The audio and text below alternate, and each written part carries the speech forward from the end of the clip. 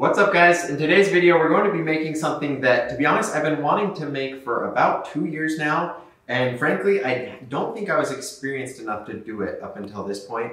and so that's why I haven't been able to get to it. It involves a lot of steps and if you do any of them wrong I feel like it's just not going to turn out exactly how I want it to. But I've gained a lot of experience with resin over the past year especially, I've really focused heavily on doing a lot of it. And so the goal today is to make a ring that's really similar to the secret wood rings, if you're familiar uh, with those. But I wanted to make it in a more traditional ring shape, just like this.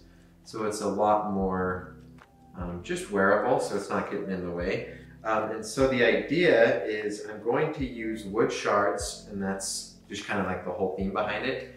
And then I'll stack it all up in this mold here and then we'll use a technique that I'll explain right now to try to try to get a cool, uh, just like overall effect. It just gives like a really cool scene, just kind of like a mountain-esque or something. So that's that's the goal here. So I'm gonna start off with the wood. We're going to, I'm gonna put it in the vise, clamp it in place, and then I'll pick it, and it should give us some shards. And then once I have the shard, I'll stack it up in the mold like this. And then once I have the mold filled up with that, I'm going to put a layer of white glow resin on top of that. And that'll coat these shards of wood and kind of give it a, just kind of looks like snow or something similar.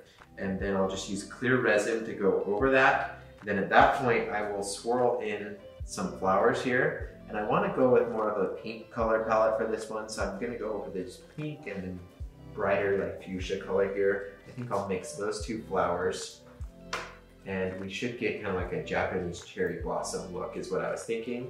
And then I'll swirl in some streaks of uh, violet and white dye. And so overall, it should be a cool effect. But pretty much, I'm just gonna go ahead and get started. You guys will kind of pick up along the way. Um, but let's go ahead and get the vise out and start breaking some wood.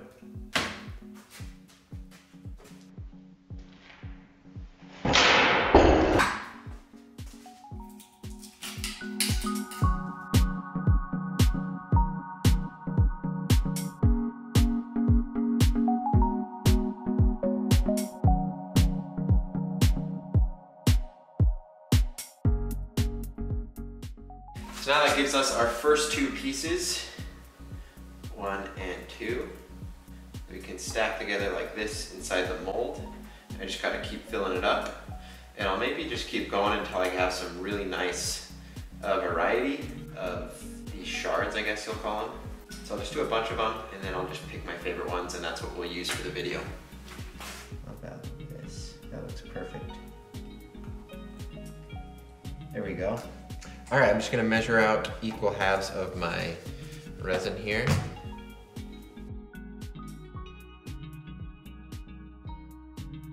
Now, just mix in a bunch of glow powder. This will glow white.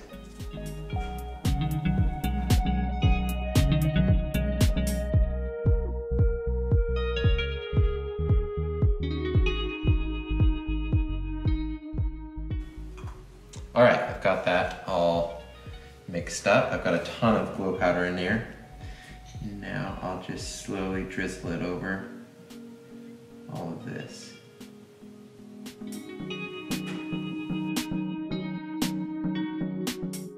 So, I think we were left with some good results. There's kind of some bubbles in it, um, but I think that won't really matter. In the future, I could definitely avoid it. So if it really has too harsh of an impact, I could probably just redo it.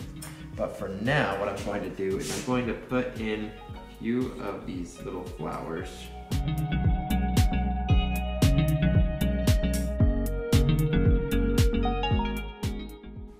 Okay, that should be good. Now I'll mix up some clear resin, and then I'll put in the rest of these, and then I'll use this needle to try to poke them in place.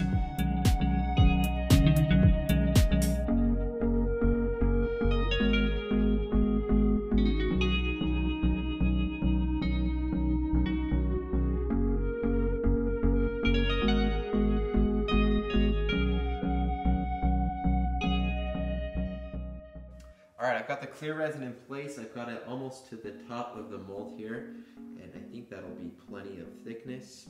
Now I'm gonna go in and add the rest of these flowers.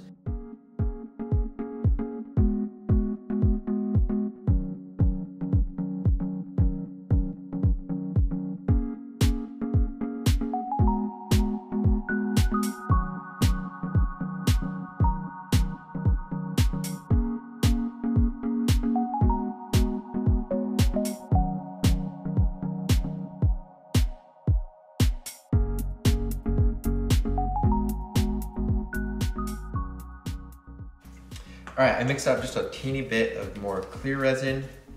I'll add a drop of white.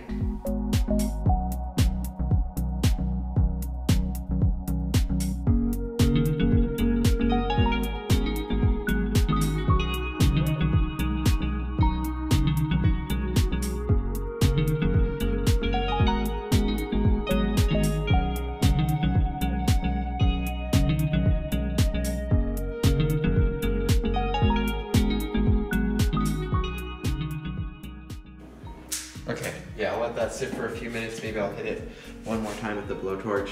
But other than that, we just need to wait, let it cure, and then I'll cut into it, and I'm excited to see how it actually transforms into a ring. Okay, update time. It's been about a month since I cast this original piece, and as you can see, this is just full of bubbles everywhere. Big bubbles, not, not just little ones. So I didn't get this in the mold or the pressure pot as soon as I should have. And so I had to redo it. Essentially used the exact same process and techniques. This time I used a blue uh, dye to add to it, but this should give us some very similar results.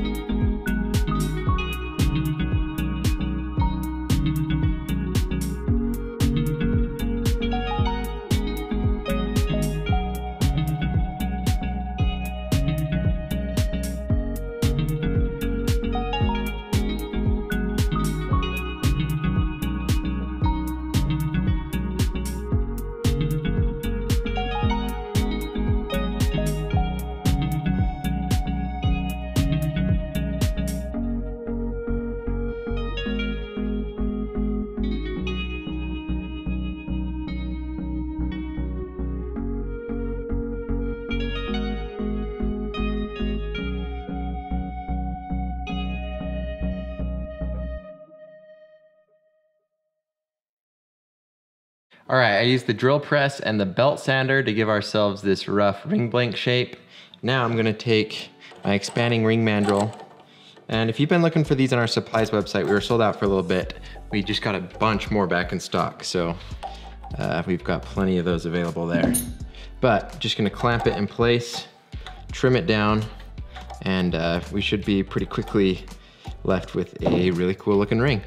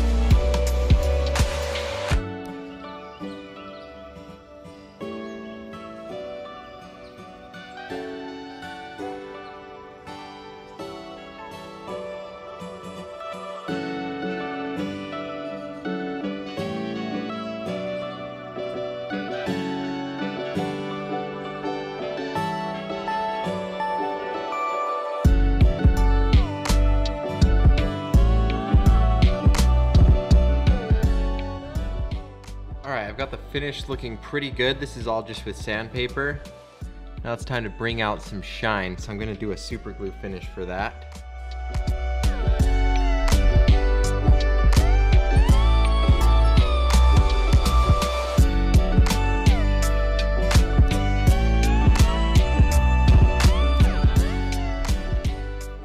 Looks amazing.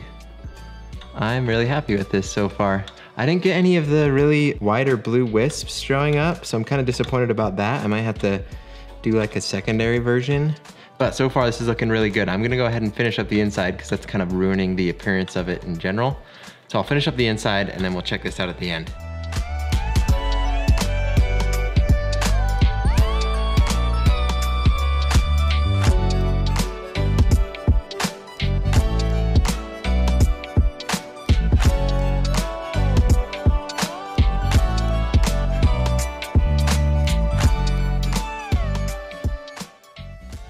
All right, I'm done with the inside.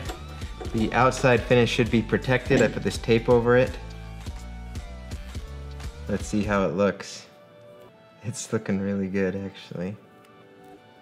So that's the ring guys. I really hope you enjoyed this video. This was a lot of fun. There's just a lot of new techniques to apply here, shattering the wood. That was fun and interesting and trying to get it to show up in the finished ring was a challenge and I think we did a pretty good job of it.